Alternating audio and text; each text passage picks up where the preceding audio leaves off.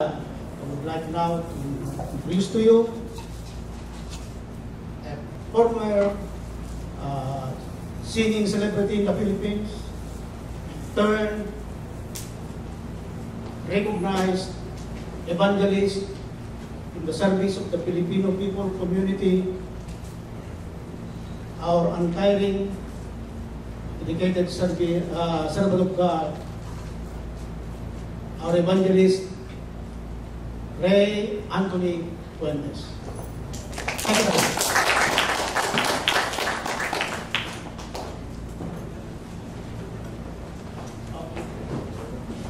Thank you.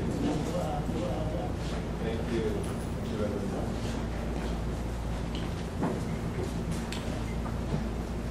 Thank you so much. Good morning, good morning. Good afternoon. Good afternoon. Good afternoon.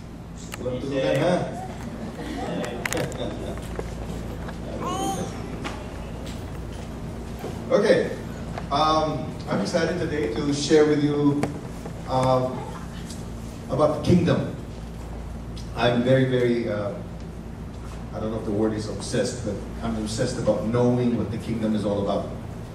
Uh, I, I saw this book about uh, systematic theology. Theology is the study of God. It's systematized. Okay, so it's systematic theology, and it says that it has sold over, over a quarter of a million copies, and yet not a single chapter about the kingdom. It is strange to me because that's all Jesus talked about in the Gospels. If you if you read all four Gospels, Jesus tirelessly talked about the kingdom, the kingdom, the kingdom, the kingdom. As a matter of fact, uh, in chapter 13 of the book of Matthew, it's loaded with parables about the kingdom. He just wanted the people to understand what the kingdom is all about. Because that is what he brought when he came to earth. The first thing that came out of his mouth was about the kingdom. He says, Repent, for the kingdom of heaven is at hand. Before he went to the cross, he says, The gospel of the kingdom will be preached as a testimony. That's interesting to me. Why? Because I'm not trying to be trivial, but he doesn't say that the gospel of the kingdom will be preached through tracts. But we can still do that. But he says that the kingdom, the gospel of the kingdom, will be preached as a testimony. In other words, your life will validate that the gospel is good news indeed. It is through our life. And this is why Jesus came to establish his kingdom. He did not establish a church. We- need to differentiate all of these terms in the Bible so that we can get an understanding. Because the Bible says, in all you're getting, no matter what it costs you, get understanding. Why? Because if I don't understand it, then I cannot apply it in life. And if I cannot, if I can't apply it in life, then I will never be able to experience what the word is saying to begin with. So in all you're getting get understanding, and, that, and that's my passion, enabling the church to be able to understand concepts, principles, some of the terms, some of the terminologies in, in Scripture. And so, uh, Jesus never established the church. He says, I will build my church. There's a difference. See, Jesus came to establish his kingdom in the lives of people.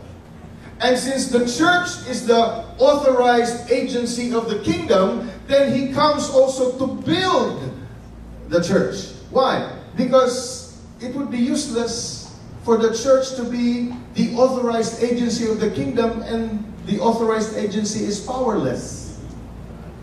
St. Paul says that the kingdom is not a matter of talk. We can talk all we want. The kingdom is not a matter of talk, but of power. And this is what people see in your life. It becomes a testimony, validating the good news of the kingdom. Hallelujah. And so this is why, this is my passion now. I, I, I want to understand it because I want to live it. I want to live. This is why he taught us to pray. Thy kingdom come. How does that happen? Thy will, no longer my will. Thy will be done where?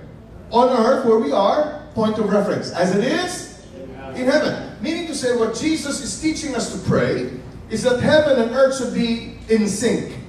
Heaven and earth should be in alignment. Heaven and earth should be in agreement. Earth should not get messed up potentially But the reason why earth is so messed up, why? Is because we have the tendency to move away from God. My will be done. Or in Tagalog, ah, basta. See, you need to understand heaven does not adjust to us. We adjust to heaven. Why? Because everything in heaven is already settled. In, albeit in a different sense, in Psalm 119, verse 89, the psalmist says, Thy word, O Lord, where we get the will of God, Thy word, O Lord, is eternal. It is forever settled in heaven. It's settled. All we need to do is adjust to it. All we need to do is live by it. Then we can experience what the kingdom is all about here on earth in our lives. And so I'd like to go to uh, the prayer Jesus taught us. Um, I think I'd like to time myself because I, want to be on time. okay. Now, um,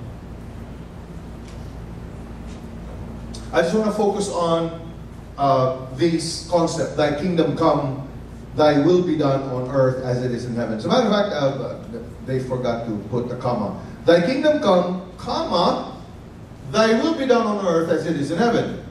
You know, the reason why I say comma, because the next part is related to the former part. Thy kingdom come. How? Thy will be done on earth as it is in heaven. Now, the word be in the dictionary is also defined as to remain continually. So, if you want to use that in the prayer, Thy kingdom come, Thy will, Thy will remain continually done on earth, not just during Sunday. Let thy will remain continually done on earth, point of reference as it is, where? In heaven. Okay. Now,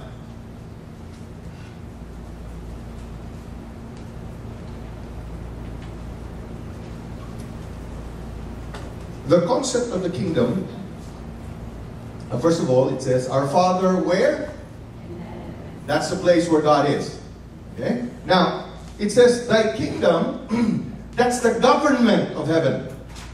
See, when you when you talk about uh, in the Bible, it says the kingdom of God and the kingdom of heaven, although they are related, but they are different. When it says the kingdom of God, it talks about the person ruling God. When you talk about the kingdom of heaven, you talk about the place where God is ruling. Clear? Hello?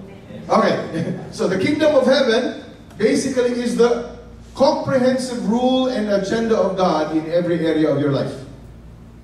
You need to understand that.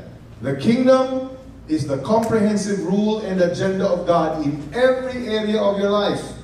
In your love life. this is why the Bible says, do not be unequally yoked.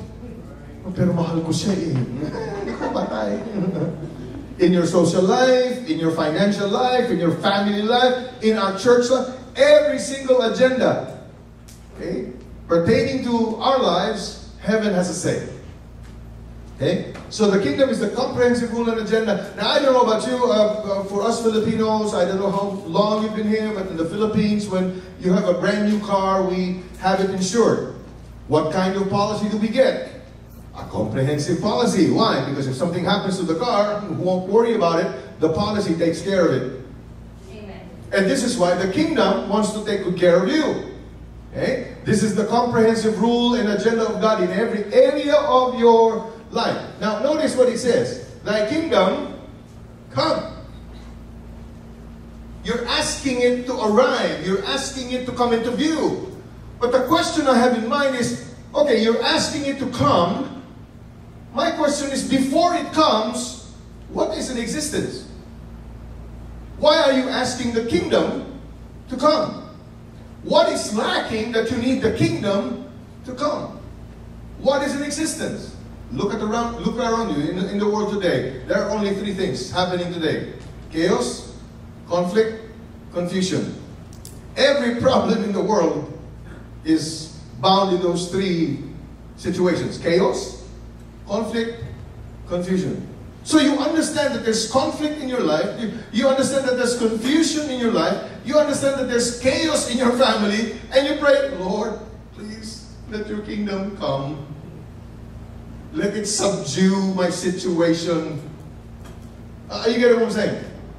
So you're asking it to come and come into view. Now, the government in Isaiah, I don't know if you've read this, maybe you have, maybe you heard this verse uh, read before, uh, especially during Christmas, where it says, For unto us a son is born, unto us a child is given. Have you heard that? Isaiah 9 6. Now, notice in that particular verse, it says, His son. And the government, that's another word for kingdom, and the government will be on his shoulders. What does it say? It's going to be his responsibility. Right? And we Filipinos, we have a we have also the same saying. Nakasalalay sa aking mga balika. I'm going to take care of it. It's my responsibility. So the government will be on his shoulders. Now that verse in ver- uh, that particular verse also in verse 7, actually another verse, in the verse 7 it says, "And of the increase of his rule and of his peace there will be no end."